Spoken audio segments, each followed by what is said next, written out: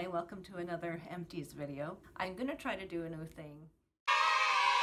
So the Pür All foundation that is officially going into the garbage. That foundation sucked.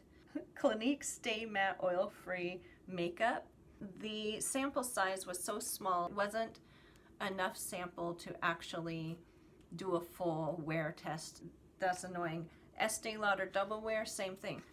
Both foundations, the Double Wear and the Clinique Stay Matte, were not ge generous enough to do a full face. That both of them separated within a few hours. Sephora 10 Hour Wear Perfection Foundation, that was a hit. That was a winner.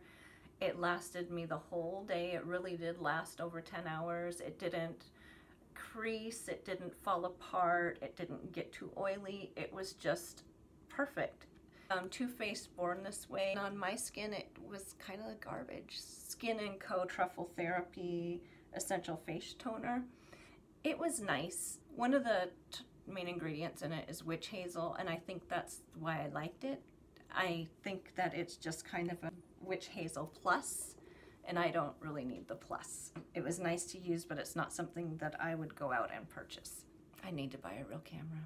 So in my last empties, I had the Belif True Cream Aqua Bomb, and I thought that I was replacing it with the same thing in a mini version, but it actually, I had the True Cream Moisturizing Balm, and I liked this way better. It was just wonderful. It was very moisturizing, more moisturizing than the Aqua Bomb, and the lemony smell was much lighter in this moisturizing balm. So scratch the Aqua Bomb off my wish list because this one is the one that's gonna be on there.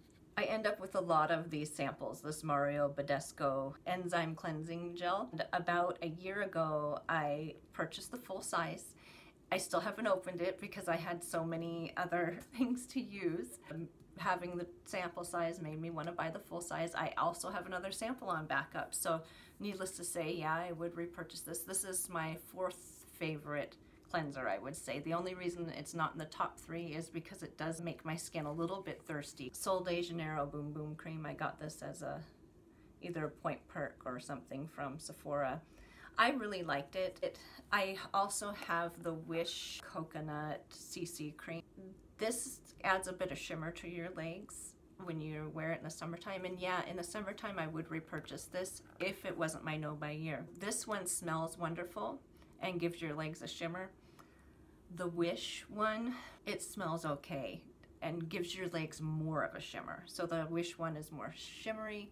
This one is less shimmery, but this one smells so good compared to the Wish one. But I'm not allowed to buy it until I finish up the Wish one. Bum Bum is off limits. I had this in my last empties too, the Physicians Formula Eye Booster in Ultra Black. This is my favorite eyeliner. This is my last of it, so today I'm wearing Kohl pencil eyeliner that I don't like at all. I'm using up what I got. And this was a surprise. This was something that was in my house already when I moved in. And my boyfriend, because he loves the dollar store, had this natural white sensitive toothpaste from a dollar store. I'll only use Sensodyne. That's my toothpaste because my teeth are super sensitive and I didn't trust that anything else would be good enough. Well, this one, the taste is very, very mild. If you hate the taste of super minty toothpaste, this is for you. I like the taste of super minty toothpaste.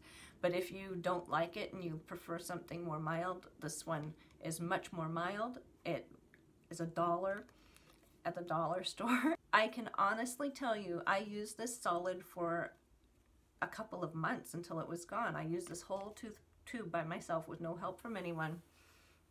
I used it religiously and the sensitivity protection in it for me was just as good as the Sensodyne. That was a real eye-opener for me because I spend a lot of money on Sensodyne toothpaste. And now that I'm back in the States and I can get it at Costco, it's affordable. But when I was buying it in Europe and buying it in Canada, it's expensive. But this this really I was really surprised, pleasantly surprised. So I hope you enjoyed my empties video. If you'd like to see more videos like this, please subscribe to my channel and have a great day. Bye-bye.